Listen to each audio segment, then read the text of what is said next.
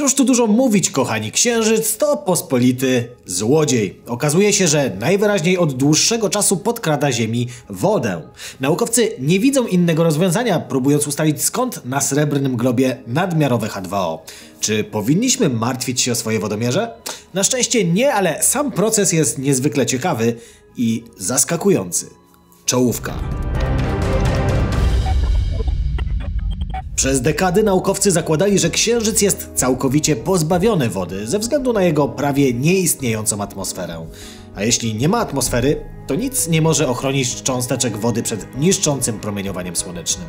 Okazało się jednak, że wody na srebrnym globie jest znacznie więcej niż moglibyśmy przypuszczać. Skąd więc w ogóle się tam wzięła? Jeszcze kilkanaście lat temu wszyscy zgodnie twierdzili, że Księżyc jest raczej całkowicie suchy. Wszystko zmieniło się jednak w roku 2009, kiedy to indyjska sonda Chandrayaan odkryła wodę, a właściwie to lód wodny w znajdujących się w wiecznym cieniu kraterach w pobliżu biegunów. Było to przełomowe odkrycie i od tamtej pory liczne badania pokazały, że lód wodny występuje również w innych miejscach poza biegunami. Na kolejny przełom musieliśmy czekać ponad 10 lat. O odkryciu wody poza zacienionymi kraterami na Księżycu zostaliśmy oficjalnie poinformowani 26 października 2020 roku. Jej ślad wykryty został w dość rozległym, oświetlonym przez Słońce obszarze. Odkrycia dokonano przy użyciu obserwatorium SOFIA, czyli Stratospheric Observatory for Infrared Astronomy, które realizowane jest wspólnie przez NASA oraz niemiecką agencję kosmiczną DLR.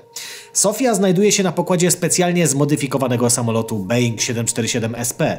Umożliwia to badaczom prowadzenie obserwacji, które nie są możliwe w przypadku zwykłych teleskopów naziemnych. Samolot wznosi się na wysokość ponad 13 km, a więc ponad większość pary wodnej znajdującej się w ziemskiej atmosferze. Pozwala to na uzyskanie znacznie wyraźniejszych obrazów podczerwieni, ponieważ para wodna te długości fali po prostu absorbuje, a jeżeli znajdziemy się powyżej tego największego jej zagęszczenia w atmosferze, no to więcej e, tych fal, więcej tych fotonów jesteśmy w stanie zebrać i zobaczyć dokładniejsze obrazy. Obserwatorium Sofia było w stanie wykryć w nasłonecznionym kraterze Clavius na Księżycu specyficzną dla wody długość fali 6,1 mikrona. Udało się następnie ustalić, że w jednym metrze sześciennym regolitu może znajdować się około 1 trzeciej litra wody. Póki co nie wiadomo jeszcze jak dużo może kryć się głębiej, kilka czy kilkanaście metrów pod powierzchnią. Trzeba jednak mieć na uwadze, że są to bardzo małe ilości. Naukowcy szacują, że w spalonych słońcem piaskach Sahary jest 100 razy więcej wody niż w kraterze Clavius. Na kolejny ważny krok nie trzeba było już długo czekać. W styczniu bieżącego roku chiński lądownik księżycowy misji Chang'e 5 potwierdził obecność śladów wody w pobliżu obszaru Oceanus Procellarum, znajdującym się na zachodnim skraju widocznej z Ziemi strony Księżyca. Chang'e 5 został pierwszym urządzeniem, które wykryło wodę na Księżycu w sposób bezpośredni, na miejscu swego lądowania, a nie jak to miało do tej pory miejsce tylko obserwacyjnie. Mamy więc niezbite dowody na to, że ani sonda Chandrayaan, ani też obserwatorium Sofia się nie pomyliły i woda na powierzchni naszego satelity naprawdę występuje. Na myśl nasuwa się więc od razu jedno pytanie. Skąd mogła się tam wziąć? Chińscy badacze wysnuli hipotezę, zgodnie z którą dostała się na Księżyc w tak zwanym procesie implantacji wiatru słonecznego. Polega to na tym, że naładowane cząstki ze Słońca ukierunkowały atomy wodoru na powierzchnię Księżyca, a te połączyły się następnie z tlenem, tworząc cząsteczki wody oraz hydroksylu. Badania oparte były na danych opublikowanych przez NASA w roku 2018. W dostarczeniu lub tworzeniu wody na Księżycu może brać udział kilka sił. Inna koncepcja mówi o dużej komecie lub deszczach mikrometeorytów spadających na powierzchnię Księżyca i niosących ze sobą niewielkie ilości wody. Z kolei najnowsza koncepcja przedstawiona w czasopiśmie naukowym Scientific Reports zakłada, że Księżyc mógł przez cały czas przechwytywać wodę z górnych warstw atmosfery naszej planety. Jak to w ogóle możliwe, skoro znajduje się tak daleko stąd, praktycznie 350-400 tysięcy kilometrów? Autorzy tej hipotezy uważają, że jony wodoru i tlenu są wypychane na powierzchnię Księżyca, gdy ten przechodzi przez ogon ziemskiej magnetosfery. Miałoby to być możliwe przez 5 dni w każdym miesiącu synodycznym, czy też księżycowym, który wynosi średnio około 29,5 doby słonecznej. Pole magnetyczne naszej planety porównać możemy do bombla, takiej bańki w kształcie kropli wody lub łzy, jak z zrobili to autorzy artykułu. Za Ziemią rozciąga się swego rodzaju warkocz pola magnetycznego. Z powodu oddziaływania wiatru słonecznego niektóre z linii pola magnetycznego zostają przerwane i przywiązane są do naszej planety tylko na jednym końcu. Gdy okrążając naszą planetę Księżyc przechodzi przez wąski obszar ziemskiego pola, niektóre z tych porozrywanych linii zostają nazwijmy to naprawione, w efekcie czego jony tlenu i wodoru, które normalnie uciekłyby z atmosfery, zaczynają zamiast tego pędzić w stronę powierzchni Księżyca. Naukowcy stwierdzili, że to tak jakby Księżyc przez kilka dni w każdym miesiącu znajdował się pod prysznicem. Następnie to, co dostanie się na powierzchnię, zamienia się w lód, który zalega na przykład wewnątrz głębokich kraterów powstałych miliardy lat temu w czasach wielkiego bombardowania. I ostatecznie dzięki różnym procesom geologicznym ta wieczna zmarzlina mogła być stopniowo spychana pod powierzchnię, gdzie zamieniała się w wodę w stanie ciekłym. A dlaczego tak usilnie naukowcy próbują odnaleźć wodę na Księżycu?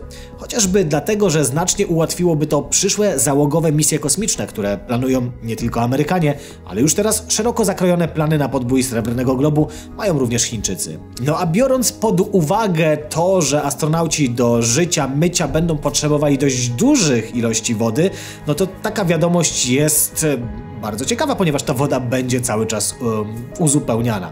No, jakby nie patrzeć, księżyc w tym naszym warkoczu magnetycznym pojawia się, jak słusznie tutaj zauważyli autorzy tego artykułu, co miesiąc, więc co miesiąc no, te kolejne warstwy wody są uzupełniane. A no niestety, jeżeli chcemy na dłużej zostać na powierzchni księżyca, to będziemy musieli znaleźć sposób na pozyskiwanie wody z jego wnętrza, z jego kraterów. Dlatego też przyszłe bazy księżycowe są planowane właśnie gdzieś w okolicach takich południowych kraterów, gdzie tej wody jest teoretycznie pod dostatkiem i będzie dużo łatwiej pozyskać ją niż na przykład próbować wycisnąć soki z kamienia dosłownie, czyli po prostu w jakichś e, różnych chemicznych procesach próbować uwolnić wodę e, z takiego regolitu. No bo musimy wziąć pod uwagę, że taka baza, kiedy powstanie, nie będzie zbyt zaawansowaną jednostką, nie będzie zbyt zaawansowaną placówką, no bo nie można tam przewieźć od razu wszystkiego. Będziemy mieli tam do czynienia z podstawowymi habitatami, będziemy mieli tam do czynienia z podstawowym laboratorium, z tym wszystkim, co dopiero pozwoli w dalszej perspektywie rozbudować bazę również o inne takie właśnie e, ośrodki, jak może ten przetwarzania regolitu na wodę, e, a te w konsekwencji na tlen i wodór, dzięki czemu moglibyśmy chociażby pozyskiwać paliwo na powierzchni Księżyca, co też jest bardzo ważne, jeżeli chcemy utrzymać ten ruch góra-dół i nie dowozić tego wszystkiego z Ziemi, bo to jest najważniejsze, żeby nie dowozić wszystkiego z Ziemi. Jeżeli mm, kolonia ma się rozwijać, czy też na początku nazwijmy to po prostu bazą naukową, to musimy zapewnić jak najwięcej materiałów in situ, tam na Księżycu, a zamiast dowozić je bez przerwy transportami z Ziemi. Dlaczego? No po pierwsze koszta, a po drugie można tę wodę zastąpić, wodę, którą mielibyśmy na Księżyc dowieść, zastąpić jakimiś materiałami do budowy kolejnych, chociażby habitatów, kolejnych um, laboratoriów i wszystkiego tego, co na Księżycu będzie potrzebne.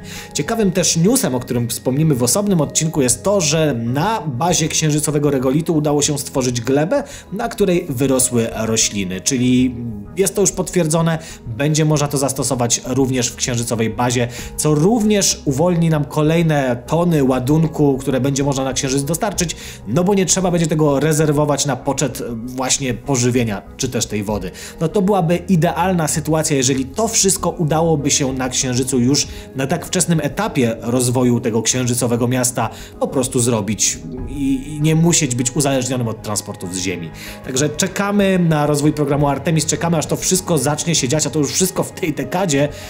Więc tylko pozostaje być zdrowym. E, I ja, moi drodzy, serdecznie zapraszam Was do subskrybowania tego kanału, żebyśmy wszyscy zdrowo mogli oglądać kolejne nasze produkcje, kolejne nasze odcinki. Dlaczego warto subskrybować? Dlaczego warto kliknąć w dzwoneczek? No po pierwsze, oczywiście nie zostaniecie e, odcięci od informacji, że coś się na kanale dzieje, a dzieje się coraz więcej, więc warto być na bieżąco. A po drugie, algorytm będzie podrzucał nasze treści kolejnym widzom, a na tym nam wszystkim zależy. Także do zobaczenia, trzymajcie Trzymajcie się i cześć.